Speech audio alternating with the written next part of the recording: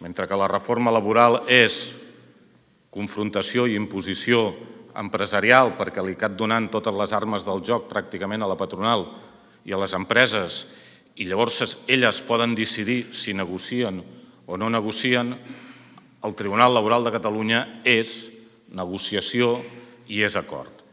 El mercat de treball, per nosaltres, evidentment està composat per tothom, però la base fonamental és la negociació i l'acord. La negociació i l'acord permanent no només en els grans temes, com puguin ser quan passen a vegades les grans lleis, sinó en l'aplicació d'aquestes lleis, en la interpretació d'aquestes lleis. En quan arriba el conflicte a l'empresa, puguem trobar els mecanismes, en aquest cas en el marc del Tribunal Laboral de Catalunya, per poder donar solució als problemes de, de la gent. ¿Qué cosas se plantean en el conflicto? ¿Qué materias con carácter general? Pues aquellas que constituyen el objeto de la relación jurídico-laboral.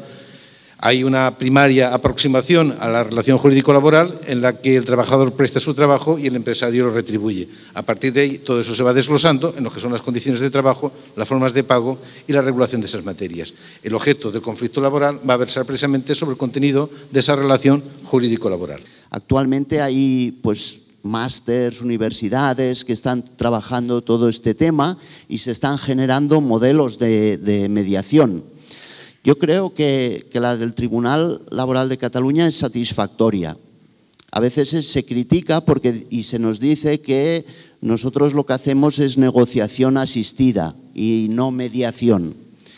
Bueno, me es igual, porque si es negociación asistida, mejor todavía porque es que las partes, eh, nosotros les estamos ayudando a eh, ejercer su poder en cuanto a la, a la negociación y, por tanto, no les estamos usurpando la solución. Creo que merece la pena en esa labor divulgativa que se decía al principio hacer un poquitín de énfasis en algo menos conocido como sería las atribuciones que el tribunal tiene en la determinación de los servicios de mantenimiento en caso de huelga.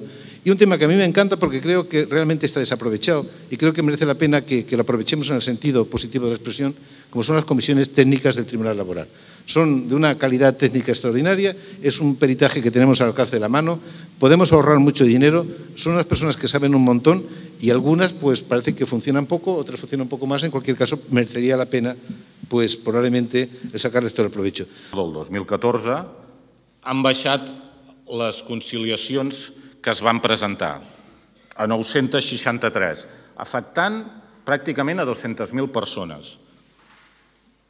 Recordar que aquestes 200.000 persones és una mica menys d'un 10% de la gent que està al règim general de la Seguretat Social i que en algun moment, no sé si el 2008 o el 2009, vam arribar a un 20% de gent afiliada a la Seguretat Social que va passar pel TLC. Per tant, no és un organisme menor, encara que moltes vegades, aprofito per fer la cunya, la Generalitat així li sembli i així el va retallant permanentment i permanentment l'hem de defensar. Una conflictivitat del 10% de la gent treballadora que es pugui solucionar amb els mitjans, la militància, el voluntariat que hi ha i els pressupostos que hi ha i el nivell de resolució major al 50% i evidentment que ha baixat els nivells de conciliació moltes vegades degut també a la pròpia reforma laboral, doncs és un motiu de situar el reconeixement a aquest Tribunal Laboral.